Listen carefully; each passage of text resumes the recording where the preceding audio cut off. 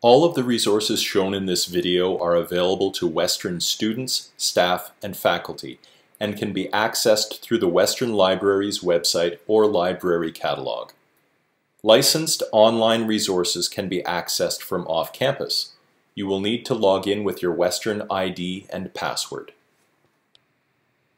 You may have found references to items in bibliographies, such as those in Grove Music Online, or in a composer bibliography. You may have found references in a bibliographic database such as Music Index or RILM.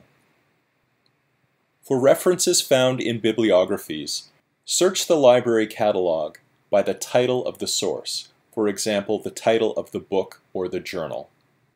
Look for a link to the online version.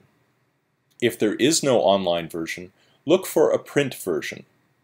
If you find a print version, get the location, the availability, including the available volume and issue numbers, if applicable, and the call number.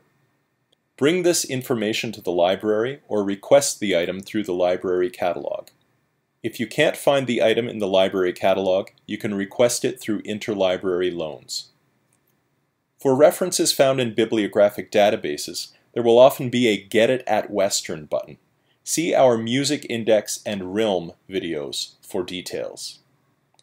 The Get It at Western button may link you directly to the item that you're after, or it may link you to the parent item's homepage, for example, the journal's homepage or the book's homepage. In this case, you'll need to navigate to the year, volume, and issue, if applicable, and starting page for that item or the Get It at Western button may link you to the library catalog. When the Get It at Western button links you to the library catalog, look for an online version. If there is no online version, look for a print version. Get the location, availability, including available volumes and issues, and call number. Bring this information to the library or request the item through the library catalog. If the item isn't in the library catalog, you can order it through interlibrary loans. If the item isn't available online or through the library catalog, you can order the whole item, for example a book, or a copy of a part of the item, for example a journal article, through interlibrary loans, also known as RACER. This service is usually free.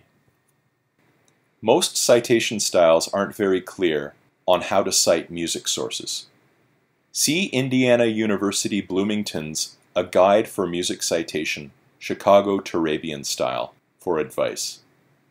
These tips can help you, but finding music can be extremely tricky. If you've spent 10 minutes searching and still haven't found what you're after, ask us for help. We can be reached by email musref at uwo.ca by phone 519-661-3913 or in person in the music library.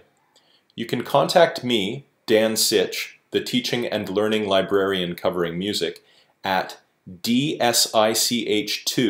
at uwo.ca or Brian McMillan, head of the music library, at bmcmill2